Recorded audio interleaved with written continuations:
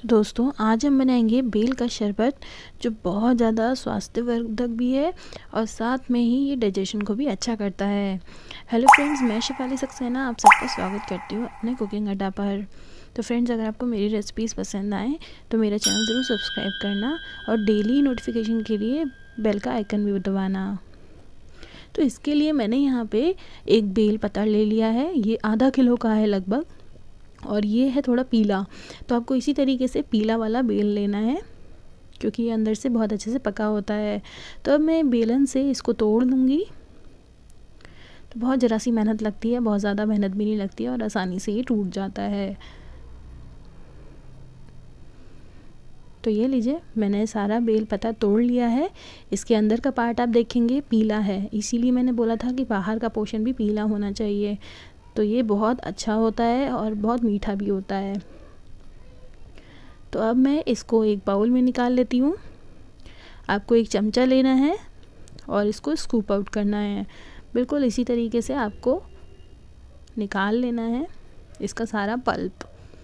वैसे तो ये खाने में ऐसे ही बहुत अच्छा लगता है तो आप इसे ऐसे ही खा सकते हैं। और इसका शरबत बना के भी आप इसको रख भी सकते हैं। और जब भी मन करे आप इसको पी भी सकते हैं। तो अब मैं इसको थोड़ा सा मैश कर लेती हूँ, क्योंकि पूरा पूरा ही निकल आया था तो थोड़ा सा मैश कर लेते हैं इसको। तो ये देखिए, मैंने अच्छे से इसको पहले मैश कर लिया है। अब मैं ये चमचे से सारा हटा देती हूँ, क्योंकि अब बारी है आपके हाथों के काम की। तो अब मैं यहाँ पे थोड़ा सा ठंडा पानी डाल देती हूँ। और इसको हाथों से हम मसल लेंगे। ध्यान रहे, हाथ आप पहले धो लें, उसके बाद ही इसको मसलना शुरू करें।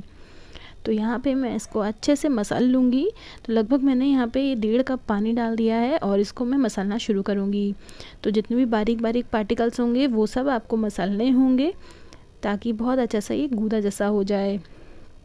तो ये देखिए, मैंने अच्छे से कर दिया है और इसके जो रेशे हैं, ये इतने अलग हो रहे हैं। तो अब इन रेशों को हटाएँगे हम।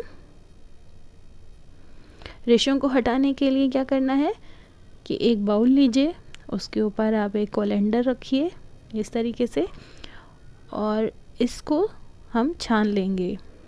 अगर आपके पास थोड़ी छोटी है तो छोटी वाली छन्नी से भी कर सकते हैं, बड़ी है तो बड़ी में भी।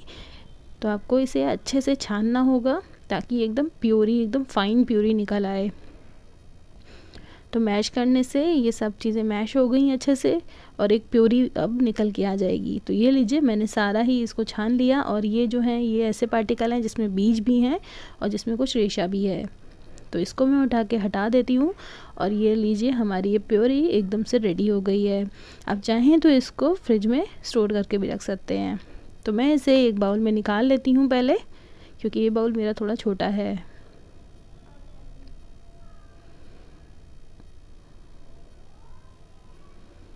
तो ये लीजिए, मैंने सारा ही इसमें प्योरी निकाल ली है और ये काफ़ी गाढ़ी है दोस्तों। अब मैं यहाँ पे डालूँगी आधी कप चीनी। अगर आप चीनी नहीं खाते हैं तो आप इसमें गुड़ भी डाल सकते हैं, बहुत हेल्दी ऑप्शन रहेगा। या फिर देसी खांड जो होती है, आप वो भी डाल सकते हैं। तो मैंने यहाँ पे चीनी डाल दी है और थोड़ा सा ये पानी मैं इसमें डाल देती हूँ। इस बाउल से जितना भी बचा हुआ है, वो सारा इसमें आ जाएगा। और इसको आपको इसे अच्छे से चलाना है पहले। एक साथ सारा पानी नहीं डालेंगे। थोड़ा पानी डाल के आप इसको चलाएँ। ये दीजिए इसकी स्लरी बन गई है। और अब मैं इसे जग में रख देती हूँ। चाहें तो आप इसे फ्रीज़र में फ्रीज़ भी कर सकते हैं। तो ये लीजिए, मैंने इसमें डाल दिया और साथ में यहाँ पे मैं तीन ग्लास भर के पानी भी डाल देती हूँ, बिल्कुल ठंडा पानी। तो लीजिए, हमारा शरबत एकदम बातों बातों में तैयार भी हो गया है। तो है ना, ये बिल्कुल झटपट से तैयार होने वाला बेल का शरबत, जो बहुत ज़्यादा पौष्टिक भी है और गर्मियों में आपको राहत भी देगा। तो एकदम झटपट हम इसे ठंडा ठंडा सर्व कर लेते हैं। चाहें तो आप इसमें आइस क्यूब भी डाल सकते हैं। तो ये रेसिपी आपको कैसी लगी, मुझे कमेंट करके ज़रूर बताइए और मेरे चैनल भी सब्सक्राइब करना बिल्कुल मत भूलना। Thank you